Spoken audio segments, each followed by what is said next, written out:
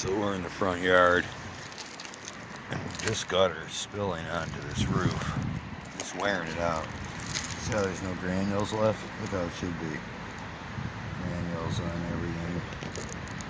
Back over here. There's no granules left, but it's all black. Wearing it off.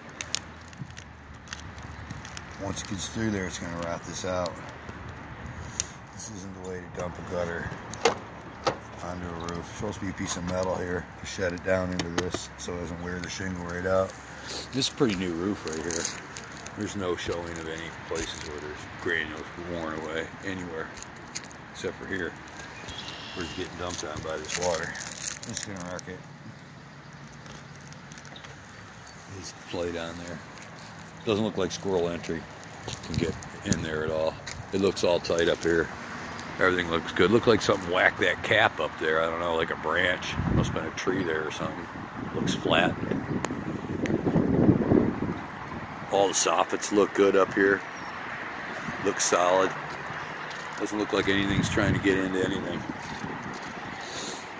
Good question is if there's screening on the louver.